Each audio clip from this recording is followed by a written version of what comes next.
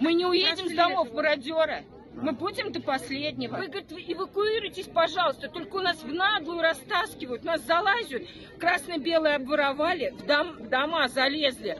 С лодочек, которые якобы зрители, подходят и, и просто обворовывают дома. Много эвакуировались люди, потому что ну, невозможно, света газа нет, а как холодно и что делать.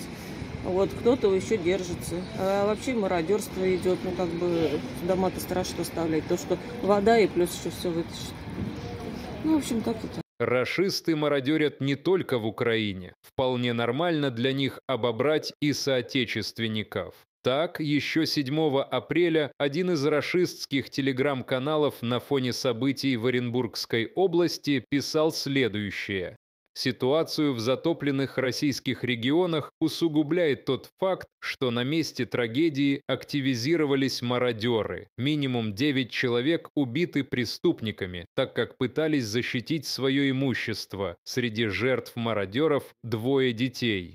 Источник в администрации Орска сообщил, полиция, я считаю, не справляется со своими обязанностями. Мы отправили в Москву обращение с просьбой ввести к нам дополнительные силы Росгвардии или армии для наведения порядка. Ответов пока не получили. Ждем.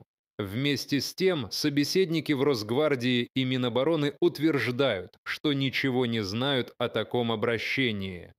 Но уже все, уже посыпалась вся эта история. Штукатурка давно слезла. Сейчас начинает проявляться истинная вот эта вот морда.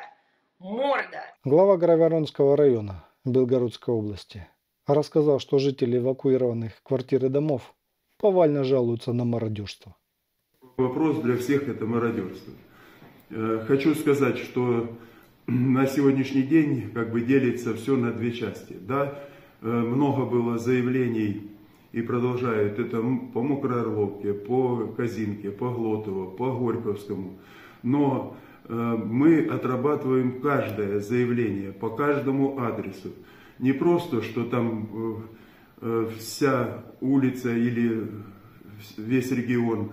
То есть мы, я хотел бы обратиться, чтобы каждый указывал конкретный адрес. Хотел бы обратиться чтобы вы не просто писали у кого там, что из квартиры вынесли, а писали конкретно имя, фамилию того, кто украл, где он живет, номер, серию паспорта, кем выдан, ИНН, номер телефона, желательно фотографию. Ну, а мы уже попробуем, постараемся с этим уже что-то сделать. Но я возвращаюсь все к волнующему вопросу домов. Вот буквально сейчас перед выходом вышла специально на улицу пройтись, записать видео с холодной головой. Перед выходом позвонила еще одна девочка, знакомая с поселения, с той же ситуацией, что у нас в доме выбиты окна. А, ну и все сопутствующее, не буду на камеру говорить, все прекрасно понимают, что там происходит. Лариса, я тебя люблю, я в Авдеевке. Вот посмотрите, примечательности города Авдеевки. Если не верите, Симачи, смотрите, я в Авдеевке. Вот, вот поглядите, какой, какой, вот братва размозжила все. Все размозжил. Вот, это Спартак. А вон тот вон, тогда поближе, подойдем, посмотрим. Я иду, Ларис, я вот, вот он я, вот, в Авдеевке. Все не верят, я сюда. И сам выпросился, сам. Лариса, я тебя люблю, сильно выпросился. Лариска, Здесь в этих домах все есть. Телевизоры, пип, что только нету. Только надо э, электричку какую-то грузовую и вывозить отсюда. Никогда русский солдат ничего подобного делать не будет. Никогда. Спасти, да. А вон там, смотри, книжные полки есть. А вон там телевизор. Только туда не попадешь. Вон телек стоит. Причем он не поврежденный, и вход вон. А, нету, никак нет. Входа никак нету, он в аккурат разъебан Нет. Немецкий солдат, да. Британский солдат, да. Американский солдат, да. У них квартиры-то не маленькие, такие. Просторные. Русский солдат никогда. Никогда. В нашей культуре это абсолютно табу. Кроватку, наверное, заберу себе, дата. Немецкий солдат, да. Британский солдат, да. Американский солдат, да. Русский солдат никогда. Никогда. В нашей культуре это абсолютное табу. Мы другие. У нас есть миссия. Мы не хотим залезать в чужие амбары. Мы хотим спокойствия и безопасности. Мы же находимся на вновь освобожденных территориях, и не зазорно спи на позиции стиральную машинку у местного населения. У меня есть холодильник, стиральная машинка, и унитаз у меня там есть. Естественно, это не покупал. Это Россия! Журналисты идентифицировали несколько российских судов, которые вывозили украинское зерно из захваченного Мариуполя. Расследование опубликовал украинский проект «Бигус.Инфо». Три российских сухогруза удалось установить благодаря кадрам из Мариуполя, снятым пророссийскими СМИ.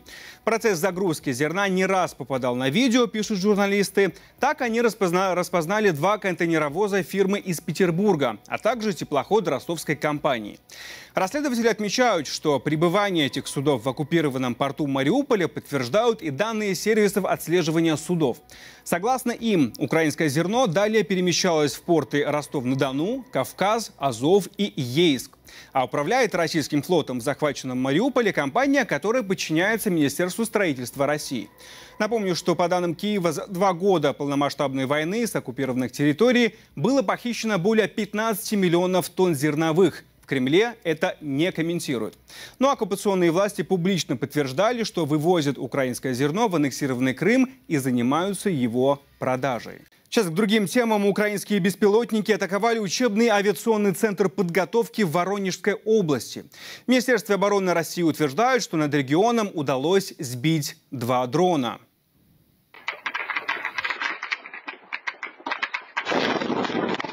Смотри. Вы первый прям видели, как это сделано.